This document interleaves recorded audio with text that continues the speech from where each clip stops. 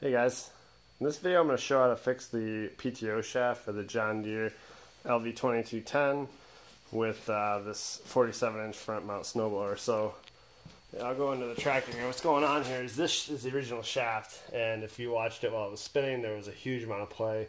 You could actually move it with your hands. Um, and the trouble is there's two joints. There's one back there. There's one here. Neither one you can actually grease. and uh, I don't know. I was just reading on some forums, and basically, it's pretty a pretty crappily made thing, and John Deere knows that it's bad too. So what I've done is I've ordered this new shaft.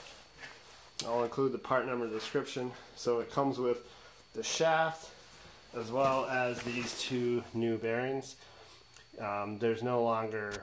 Um, there was another little little shaft that went in here with a couple stops and uh, bearings but there's no more of that. So this is this shaft directly connects to the implement right there.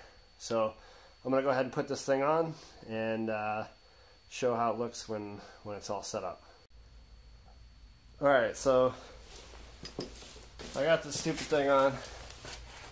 Uh, what I did was I put the front bracket on first before putting the shaft onto the PTO.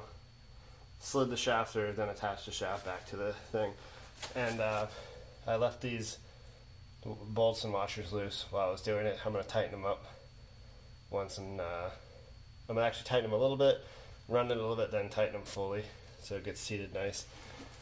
And uh, then we're going to go ahead and attach. It's pretty short here, but I just tested it and uh, the, the thing clips on, so looks like she'll fit. We'll find out when I get the blower on.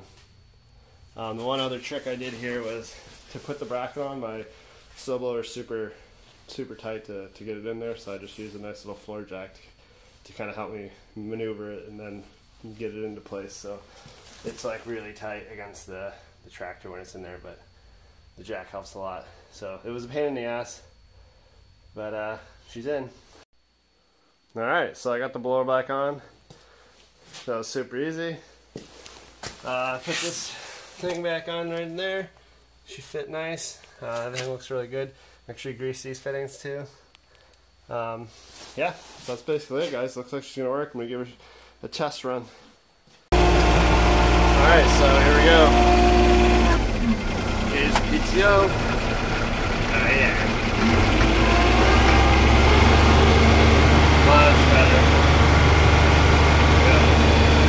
No more crazy vibrations on the snowballing. Uh, looking pretty good here give her a run.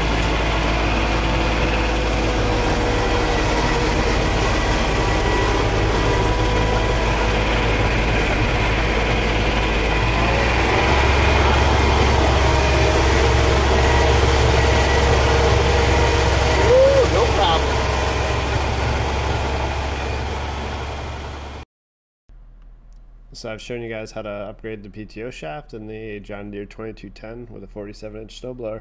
I really hope this video helped you out. Please drop me a like if it does.